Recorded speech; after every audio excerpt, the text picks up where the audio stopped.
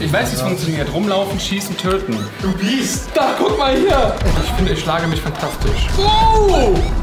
Ah, nein! Wie soll ich jetzt Sniper, Mann? Bin ich gerade einfach nur scheiße? Also ich würde sagen, ganz stark angefangen und dann ganz stark nachgelassen.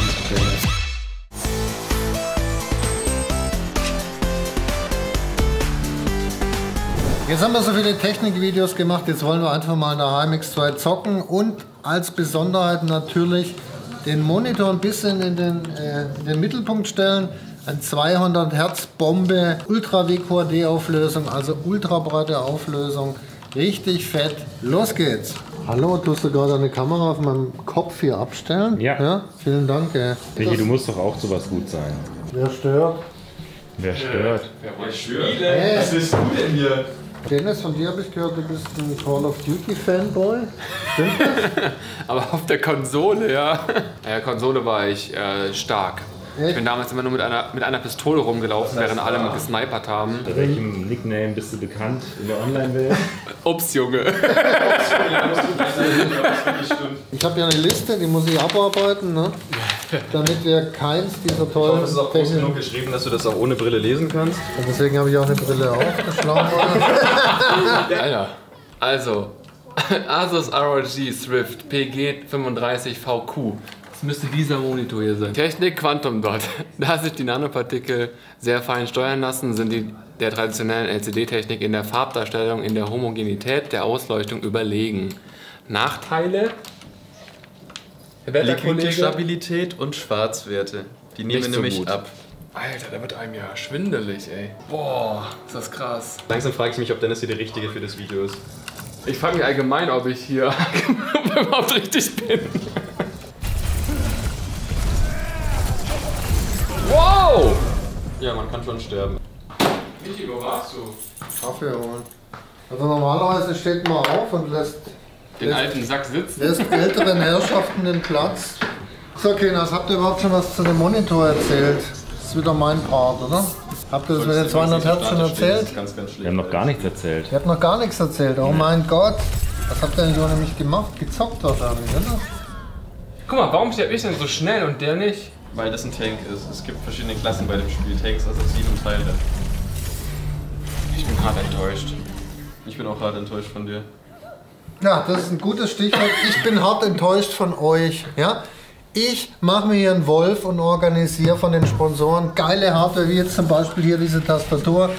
Die könnt ihr dreimal gewinnen, aber dazu müsst ihr halt mitmachen bei unserem Instagram, Twitter und Facebook-Spiel, dem sogenannten Höllometer. Addet uns, NPC Kumpel und macht das Hashtag HMX2 dazu. So, dann, aber jetzt, wir wollten ja eigentlich über den Monitor reden. Hallo, hört mir jemand zu? F. Du hättest jetzt F drücken müssen. F wäre letzter super gewesen. Ich muss gerade Dennis erklären, wie das Spiel funktioniert. Der hat es noch nicht so ganz verstanden. Ich weiß, wie es funktioniert. Rumlaufen, schießen, töten. Aktuell laufe ich rum und sterbe.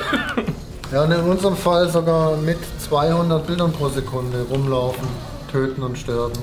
Ja, also wir haben jetzt Overwatch gewählt, weil, weil wir hier gesagt bei höchsten Qualitätsstufen halt auf diese 200 Bilder pro Sekunde kommen. Das ist ein 200 Hertz Monitor. Da sieht man halt am besten, wie synchronisiert wird. Synchronisation erfolgt über Nvidia G-Sync.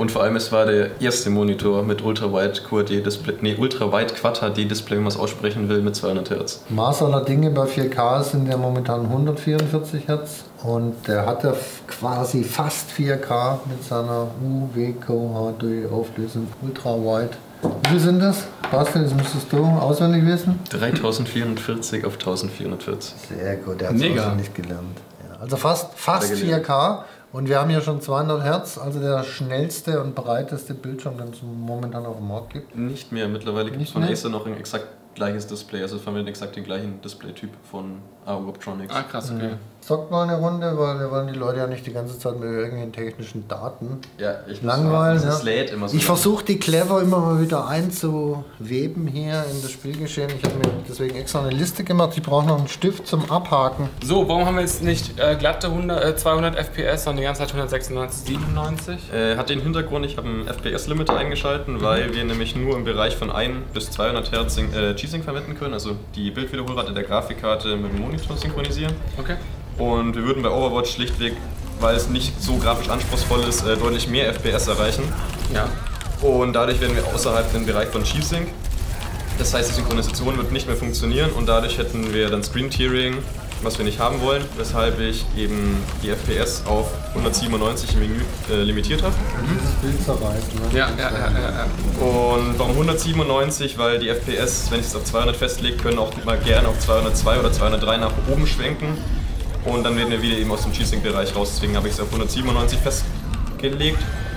Und Jetzt wollte ich dich gerade loben, dass du neben dem tollen Erklären auch noch gut spielen kannst. Dann ist er gestorben. Dann ist er gestorben. Ist schlechtes Timing. Aber genau deswegen habe ich es auf 197 eben festgelegt. Wenn es dann eben ein bisschen nach oben schwankt, dann sind wir vielleicht bei 198, 199, aber eben nicht über 200 und es ist dementsprechend immer noch im G-Sync-Bereich. Cleverer Move. Also du hast schon Erfahrung gesammelt Ja, mit. Overwatch, oder? Ich habe Erfahrung gesammelt, allerdings tatsächlich nur in der Beta-Phase. Also ich glaube, das letzte Mal, dass ich gespielt habe, ist jetzt schon wieder eineinhalb, zwei Jahre her. Ach, so lange ist das schon wieder her. Gelernt ist gelernt von Basti, ne? Offensichtlich, Wenn man was lernt, offensichtlich. er vergisst es nie wieder. Und bei dir, wie ist es da? Hast mich jetzt schon was gelernt?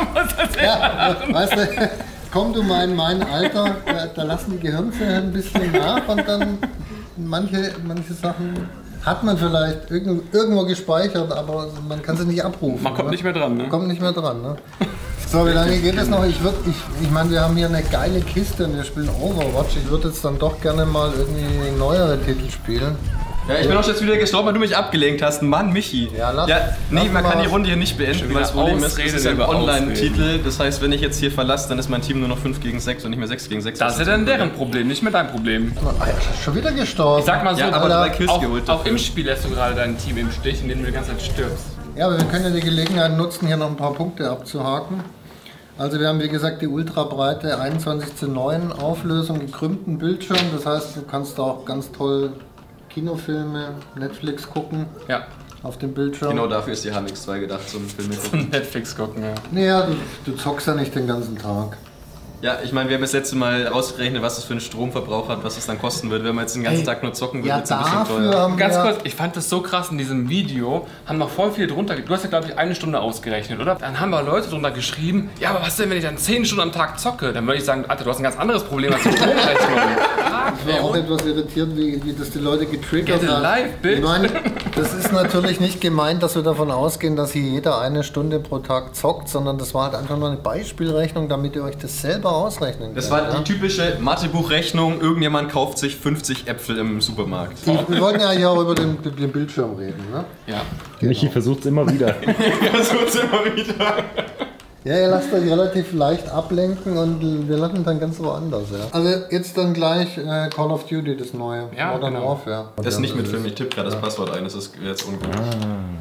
So, wie war das Passwort? 1, 2, 3, Dennis, der Beste? Dann ist Genau. der Beste, ja.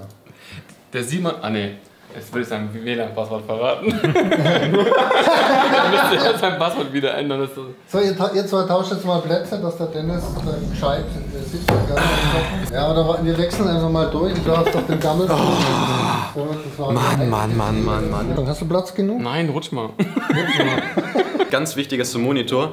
Äh, bei 200 Hertz haben wir keine 10-Bit Farbtiefe, sondern nur noch 8-Bit Farbtiefe, weil DisplayPort aktuell nach dem aktuellen Stand das einfach nicht übertragen kann. Ähm, deswegen, wenn wir jetzt irgendwelche Rollenspiele spielen, wo wir natürlich dementsprechend auf eine höhere Farbtiefe oder HDR oder Raytracing oder so setzen wollen, stellen wir die Wiederholungsrate auf 165 respektive 144 runter. Jetzt wollen wir was sehen, Dennis. Jetzt wollen wir echt was sehen, ne? Jetzt Oh, kannst, Leute, jetzt kannst du ja eigentlich nur blamieren. Wie soll ich denn. Sniper, Mann? Als Sniper auf einem kleinen Raum, Alter. Das kann ja was werden, Dennis. Wie kann ich die Waffe wechseln? Der Monitor hat ja auch ein paar Cheat-Funktionen. Sonst willst du ein paar Cheat-Funktionen freischalten. Oh! Hey! Alter! Du Biest! Du bist. Da, guck mal hier! Dennis! Was soll ich sagen? Weiter geht's, Weiter geht's, weiter geht's, weiter geht's. Oh, fuck. Das war Drucken. Ja, das war ich. Oder hinlegen. Wenn ihr uns übrigens unterstützen wollt, in unserem Shop gibt es auch ganz tolle Tassen. Ja, und T-Shirts. Also, Ja, T-Shirts, ne? Michi, das passt dir doch so gut. Ja. Verdeckt dein Bauch auch so schön. Ja, das verdeckt total gut mein Bauch. Also, ihr wisst ja, jeder Euro hilft, ne? So, wir haben jetzt schon 130 Frames hier. Man muss dazu sagen, ja, Call of Duty, der neue Teil unterstützt kein SLI, das heißt, wir können eh nur eine Titan nutzen. Was? Was? Ja, vielleicht wird sie noch gepatcht. Da muss erstmal RTX funktionieren und DLSS, ne? Ja. Genau, was jetzt in der Beta auch nicht funktioniert. Kantenklettung, ja, das, das sind sozusagen Da oben ist einer. die. Ja, ich hab's gesehen. Äh, Ich hab dran Ich glaube mit G, ja. Probier mal G. Ja, der rechts. Ah! Tot! Das sieht nach einer Schrotflinte aus. Jo. Du musst ja näher rangehen an die Gegner. Captain Obvious hat gesprochen. Boah, ich bin so schlecht. Ich bin so Ich schlecht. dachte eigentlich echt, er kann was nach der ersten Runde. Direkt sofort Abschuss gewonnen und jetzt. So kurz davor. So gut. Hier, guck.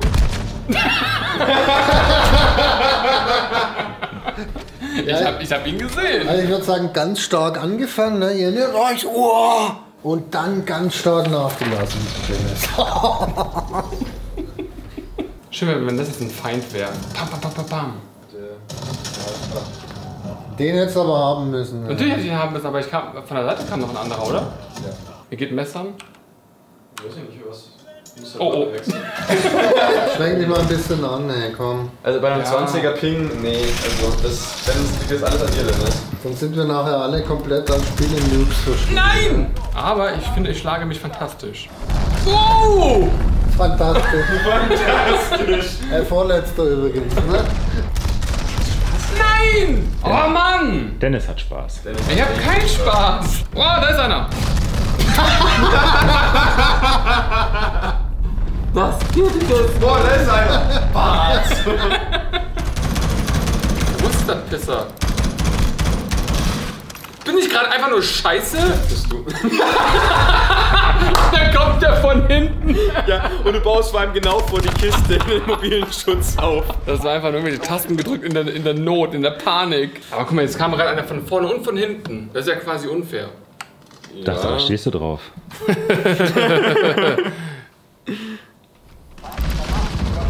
Es ist. Ja, aber hier war einer da. Ah, nein! Ja, da war schon wieder einer, der dich gekillt. Alter, du bist so ein Konsolen. Hast du das gerade gesehen? Noob, ey. Hallo, niemand spricht gerade über. Alter.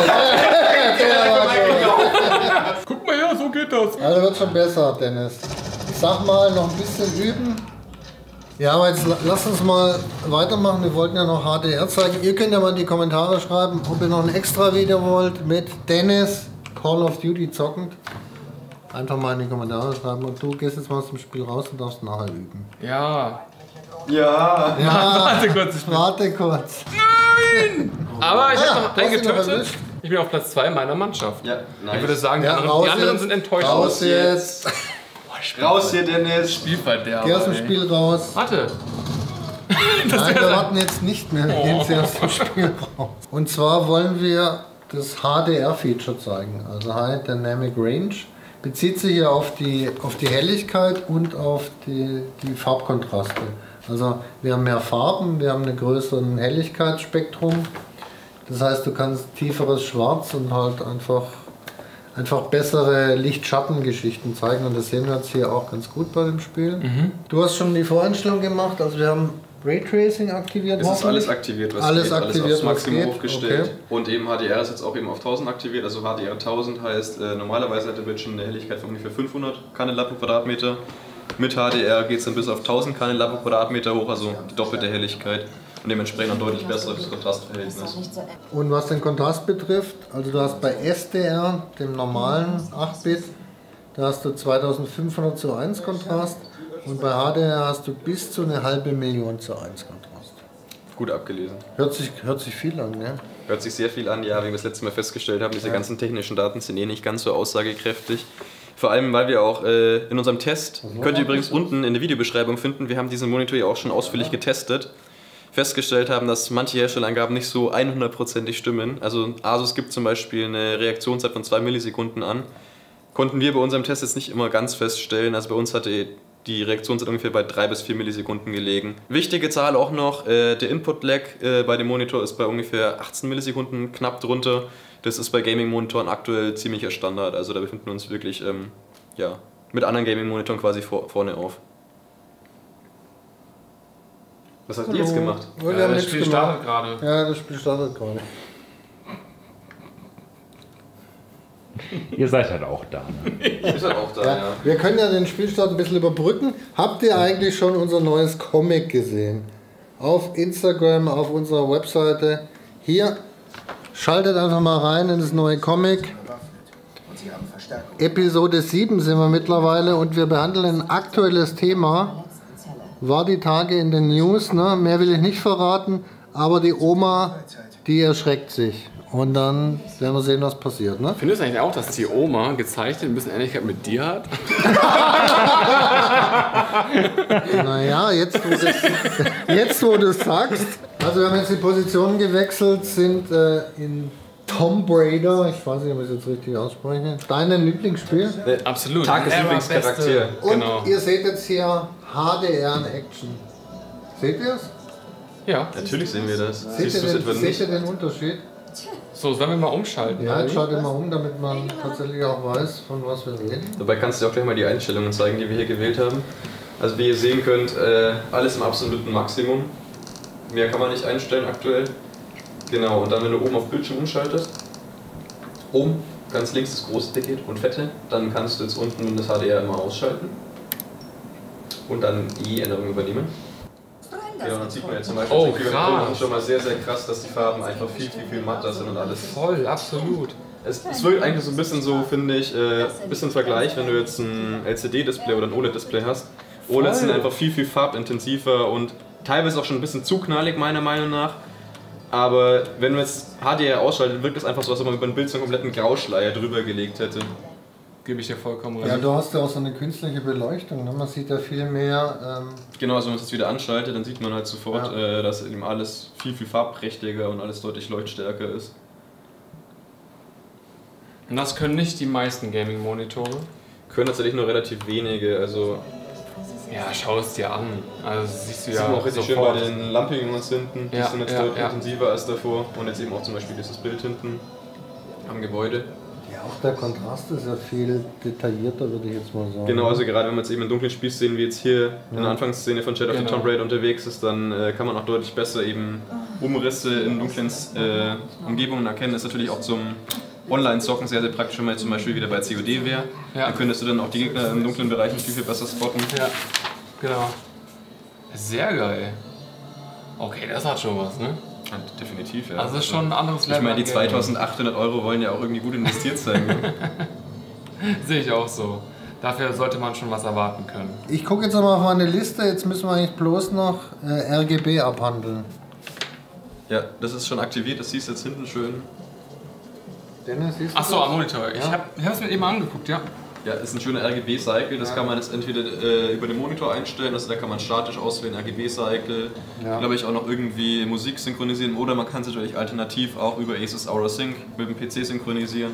Also das sind die gleichen Farben wie der PC. Jetzt Genau. mal, jetzt mal ähm, ins Unreine gesprochen, das siehst du doch nicht, wenn du vom Monitor hängst. Das ist auf der Rückseite. Was hast Ja, du oder da? wenn Ja, der. Monitormann sieht es und natürlich bei unseren YouTube-Videos kommt es richtig geil zur Geltung. Also ich meine, Ja, es ja oder, oder so eine Art. Ambilight, ne? wenn, wenn der Raum dunkel ist, also viele zocken ja in dunklen Räumen, dann genau, dann reflektiert es vielleicht von der Wand. Ja. Und ich meine, was auch noch richtig geil ist, sieht man es aktuell nicht, weil wir es rausgenommen haben. Im Standfuß ist auch noch ein RGB-Spotlight eingebaut. Unsere Idee war eigentlich, dass wir da das HMX2-Logo auch noch auf so eine kleine äh, Ja. Plastikplatte ähm, gravieren lassen, dass es quasi unten schön dargestellt wird. Wir haben aktuell leider noch keine Möglichkeit gefunden, aber wir hoffen, dass es bis zum Ende der Verlosung dann auch der Fall sein wird. Finde ich gut. Ja, Und dann jetzt? sind wir durch, würde ich sagen, oder? Haben wir alles erzählt? Durchsinn-Zettel, ich dachte, du ja, wolltest wir abhaken. haben, ich ja ich keinen habe hab alles abgehakt. Dann können wir jetzt zocken, oder? Ja, genau.